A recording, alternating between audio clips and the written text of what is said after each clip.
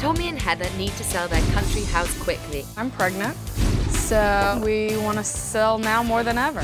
But a multitude of unfinished DIY projects What were they thinking? and mismatched decor are turning potential buyers away.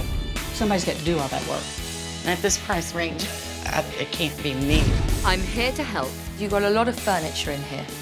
It makes the room half the size. with a budget of $5,000 and some smart design and staging tips. I'm going to transform this unsellable house into one that sells. That is beautiful.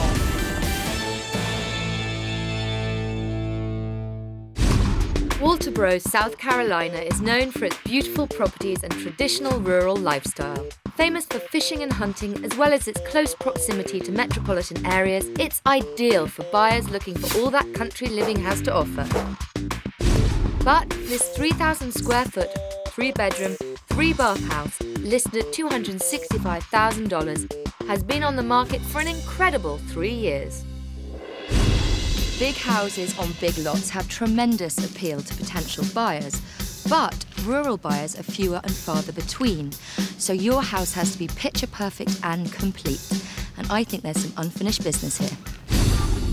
Tommy and Heather and their three year old daughter Ava love living in the country, but their dream of buying a new home has come to a standstill. I would like to move on, especially because I didn't start out in this house, so I would like to have a house where I get to pick everything inside. My mother helped uh, a lot with the initial decoration.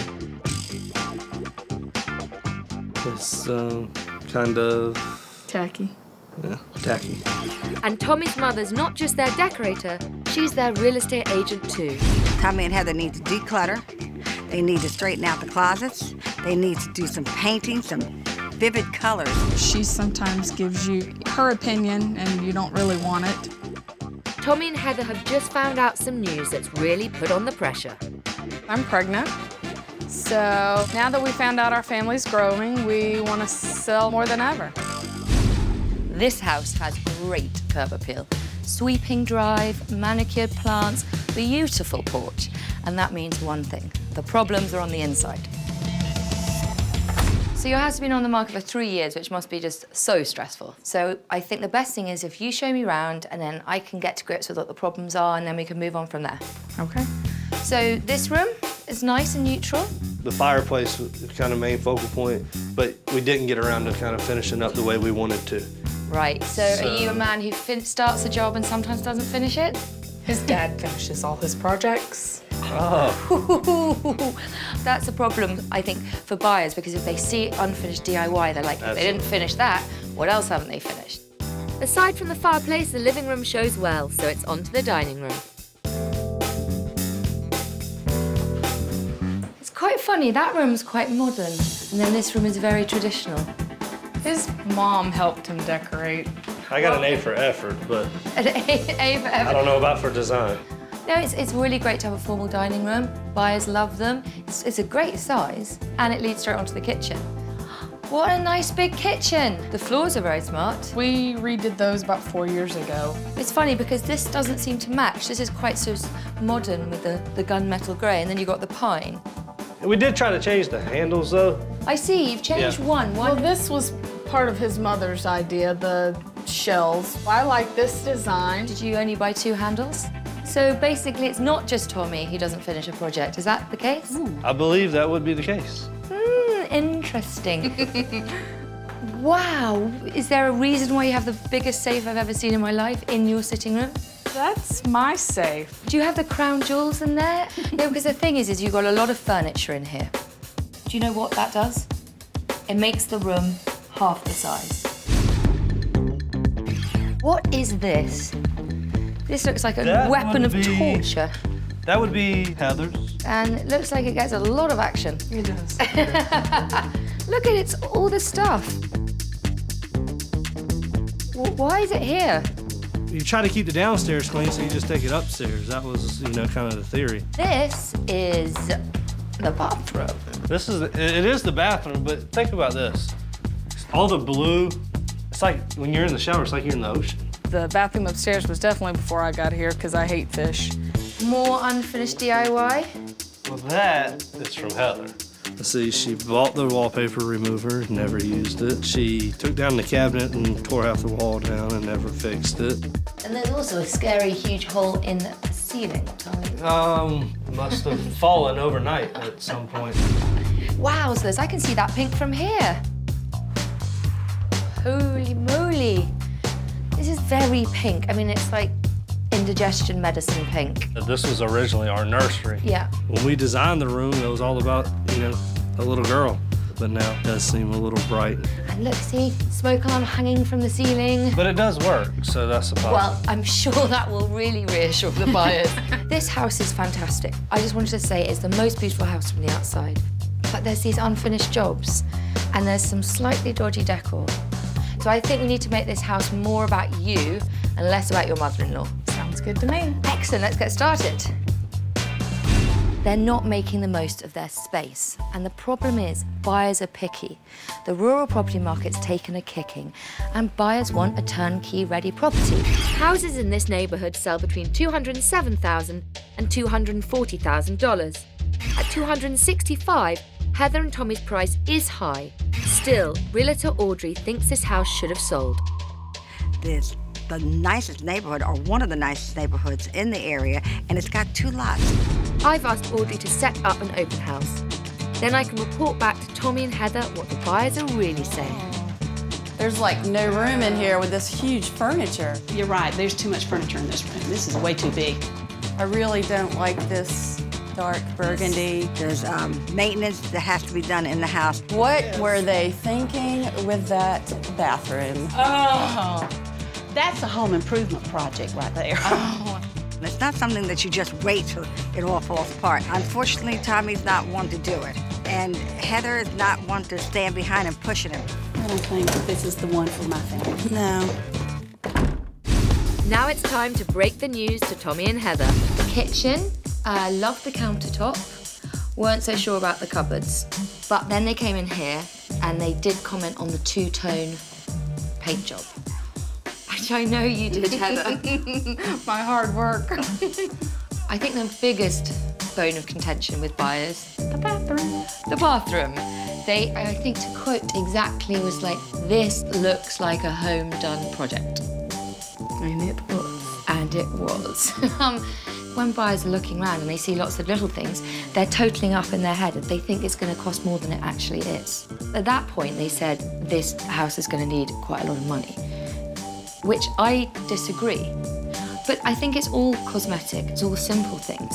You've got to be super competitive and your house has to look as good as it possibly can.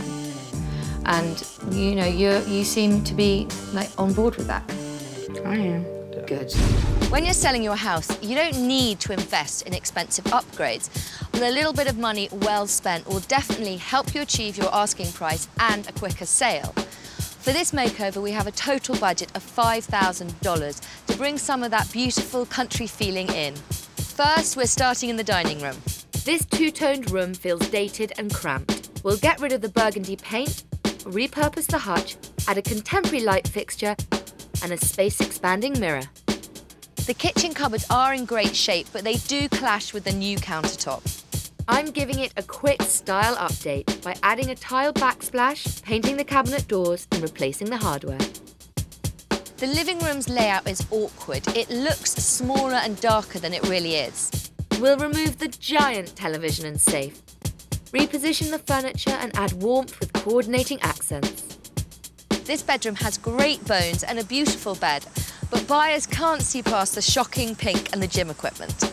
We'll paint the walls, replace the equipment, and add matching side tables and lamps. A seating area and new window treatments will draw focus to the lovely view outside.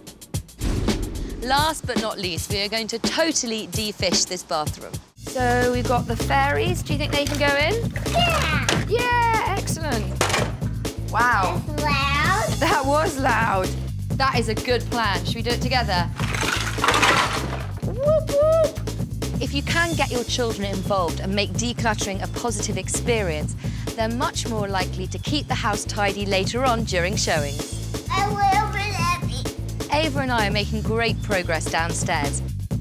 Upstairs, it's a different story. Oh, I've been looking for this actually. That's all my stuff. It blows my mind that he keeps from high school. I mean, seriously, this is not a bachelor pad anymore. He had old trophies and posters for crying out loud. I mean, who keeps posters for 15 years? Good job, honey. I'm not sure if Heather and Tommy are taking this as seriously as I'd like. That's why I'm sending them to a comparable house for a reality check. Just under 1,700 square feet, this three bedroom, two bath house listed for $135,000 sold in five months. Oh, wow. It's nice and bright in here. Yeah. That's an open kitchen. I like the color of the cabinets. It's very fresh looking. All the handles seem to match. Doesn't feel cluttered, claustrophobic. Nice bedroom here. It's nice and open. It doesn't make you feel like you have a stomach ache. It They don't have a bunch of junk. Nice big baseboards. Mm-hmm. Crown molding's nice. I love this. Yeah, it's nice. Very nice. In the shower, Yeah, I like that built-in. I can definitely see where we need to do some improvement. I would have to agree with you on this one. I didn't measure the rooms, but you know, you don't need to. It feels so so large. It's move-in ready. There's no unused gym equipment in the room. It's nice and open. I could see how, you know, it sold quickly. Yeah, it's depressing too. Depressing. While Tommy and Heather have been stealing tricks from the competition, work has been well underway back at the house. Lucky for them, we've been doing the really heavy lifting. Hey guys, Hi. what do you think of the comparable house? It's very fresh, very open. Clean, modern? Yes.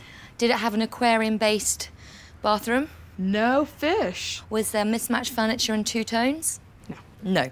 But um, what do you think made it sellable? It's move-in ready. So that's what we want buyers to feel here. They can see themselves in the in the space. They're moving ready. They don't have to do any work. So do you think you've learned something from the comparable house? We have. Uh-huh. Excellent. So you're ready to get started? Yes. We're ready. Fantastic. I'm going to dump the rest of this clutter, and would you go and get changed, and we can start work? All right. right. You know, when we had the open house, all the buyers said they loved the solid surface, It's definitely in right now, for sure. But not so keen on the cupboard. Not so much, No. no. Well, you know what? The good thing about this is it's an easy fix. Yeah. I mean, I like the detail. We won't change that, but we are going to paint them. See, the problem is, is there's no point doing an upgrade on the countertops and then not going in for the cupboards. You have it's to like an unfinished job. There's quite a few of those in this For house. sure. Just because you're living in the country doesn't mean you want a dated farmhouse look. I think a lot of people in this area are looking for a more sleek and modern look, and that's what we're giving them. The cabinets and breakfast bar are solid wood, so first it's important to give them a light sand and prime before you paint. We've rented a paint sprayer to give the covers an even coat, because it's the best way to get that factory finish. There's no need to replace dated cabinets if they're in good condition. A coat of paint can cost as little as $100 and leaves lots of room in the budget for the rest of the house. While we wait for the cupboards to dry, Dave has a job for Tommy. So what are we doing here today? You have a great chair rail on the wall. You have a great baseboard. Now we're just going to fill in the gap with these applied moldings. So we're going to create wainscoting in your dining room. Do you know what that is? Yeah, I've, heard of wainscoting. Potato, potato, wainscoting, wainscoting. As long as it looks good, who cares what you call it? You've used the chop saw before? I have. Okay, well, as a reminder, it's your handle. Yes. It's your blade. Blade. This is wood.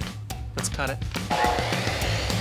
Wainscoting not only adds visual appeal to a formal dining room, it's also practical as it protects the walls against nicks and scuffs. Really neat process. Uh, when you see it, kind of life changing. Not really, but it was cool. So, the key to this gun is speed. We'll line this up, hold it in place, push the gun in, pop it. Pop it, pop it. Pop it. It looks good, Good huh? deal. Yeah. For sure. We'll just do the same thing all around the room, paint it up. This is gonna look amazing. Working with David was uh, was pretty cool. Yeah, man, that nail gun is awesome, isn't it? So, Heather, have you ever tiled before? No, but I hope you have. I have these exact tiles on my house at home, and the point of backsplashes are they protect the walls because you don't get oil or water, they're easy to clean. So, I have got my trowel Mm-hmm. So we're gonna get a scoop of adhesive and then just put the adhesive onto the wall and then apply the tiles after that. And then you just leave a little bit of space there to put the grout. So do you want to try it? Sure. So there's the trowel. Get tiling. The subway tiles look so classic, they're timeless, and they're gonna make such a big difference. It's just gonna look elegant and modern and up to date, and that's what buyers are looking for. It's been a long day, so we're saying goodbye to Tommy and Heather to keep the final results a surprise. See y'all later. Have fun. Back to work. Let's go. Now it's time to let the pros finish up the tricky bits in the kitchen and get stuck in upstairs.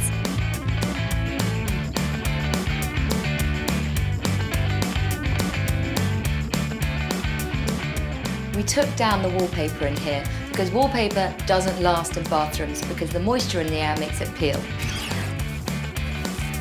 With the major projects almost complete, all that's left is the finishing touches. Replacing an outdated light fixture is a great way to instantly contemporize a space. This is a traditional dining room, but the colours and the accessories give it a really modern feel. Buyers thought this kitchen looked old, so we painted the cupboards, put new handles on, and created a really chic backsplash. Make sure your countertops are completely clutter-free. Not only will they be easy to clean for showings, but it also makes room for a few splashes of colour. Neutral colours also help lighten and brighten a space. But to keep the room from looking bland, I'd throw pillows in organic patterns. This was not a relaxing space when it was bright pink. We've taken out the gym equipment and we've painted over the bubblegum pink. Bedrooms should be calming spaces that you want to retreat to, and you get that look by sticking to pale colours. In the bathroom, invest in new hand towels and a fresh shower curtain. Use them strictly when you have showings. Come on in. Oh, wow. Isn't it fantastic? It is. It's beautiful. Before, this two-toned space felt dated and cramped. Now it's a big, bright, welcoming dining area. I love that. Doesn't even look like our dining room. Very nice. You noticed this lovely wainscoting there? Yeah, I did. I did. Yes, That's you did. beautiful, and you did something without your daddy. The wainscoting is quite traditional, mm-hmm. but because it's painted this painted pale colours, don't you think it looks much more modern? Oh, yeah. So what do you think buyers will think of the dining room now? They'd be crazy not to like it. Yeah. Do you recognise your hutch? Yeah, it looks a lot better like this. It was too big for the space before. It's all about, you know, making rooms feel bigger. Oh my gosh, it doesn't even look like the same kitchen. Wow. That is beautiful. Very nice. The tiling that you tiled. I tiled. know, I feel kind of handy now. She did this. She did that. But I, I'm very, very proud of, of her um, for getting her hands dirty. And look. Matching handles. Yeah, and Matching all there. handles. They're all there. And here we are, your brand new eat-in kitchen area. I love that. Yeah. This is for every day. Yes. Is it just me, or does this room feel twice as wide? A lot bigger. Before, you had the sofa like this, so it sort of cut up the room. It's still the same bits of furniture, but we just by moving them around, we've opened up the room. It does feel brighter, it feels bigger. I think taking out the safe was a, was a big thing, but um, that is much prettier. Come on in. Oh, wow. Very, very nice. Beautiful. Like personally, I kind of enjoyed swimming in the ocean while you're taking a shower, but this would appeal to more buyers. Buyers don't really like peeling wallpaper. Mm. It's quite funny, I was a bit worried at first because the fish tile really didn't want to move, it was stuck to the wall, so you had to cut them all out and replace it with drywall. But now you've got this really nice finish. This is a selling point now rather than negative. Mm. When you're selling your house, that's what you've got to do. You've got to not give the buyers any excuse to either lowball you on the price or just not buy. Now, anyway, I want to show you the what was formerly known as the pink gym. Welcome to your new guest bedroom. Oh my gosh, completely different. I don't think buyers could see past the pink and the gym equipment. This is a really, really nice grown-up guest bedroom now. Yes, it's very warm, very inviting. I couldn't be happier. I think it's just absolutely beautiful. It looks completely different. Mm-hmm. When we walked in, I was completely speechless. I, it doesn't even look like my house. I'd have to say that my favorite room would be probably the formal dining room. I'm a big fan of the, of the wainscoting. It makes it feel a lot more elegant. It makes me more optimistic that we can sell the house. But the most important thing is not whether, in some ways, you like it, it's whether buyers like it. Absolutely. And I think this house now ticks all the boxes. Great curb appeal, finished inside, modern kitchen and fantastic big bedrooms. Those are all things that buyers are looking for, and you've got them here. It's a complete package. I agree. You agree? So what we need to do now is get them buyers in. All right, let's go. Sounds good. And potential buyers are loving it. It is wonderful. Completely different house. The dining room just really pops. It is so fresh and inviting. I love the lighter colors. Love the wainscoting. Love the seating area upstairs. Love that new bathroom. Can't believe it's the same one. Oh my gosh, the kitchen looks so much nicer now. And just adding that backsplash makes it look polished. Everything is fresh, beautiful. Absolutely love it. And now it makes sense to buy it. This whole experience is right up Heather's alley. She really does like everything done. There's no DIY projects that need to be finished, and it's just, it's fresh, it's new, and it's modern. It's beautiful. I definitely plan on taking some of those ideas and putting them in a new house. I don't know, it may make it hard for her to move out. Tommy thinks he's funny.